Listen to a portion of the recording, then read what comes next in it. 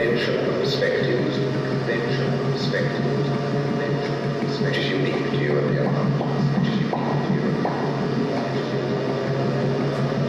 A perspective that centers everything on the eye, centers everything on the eye, centers everything on the eye.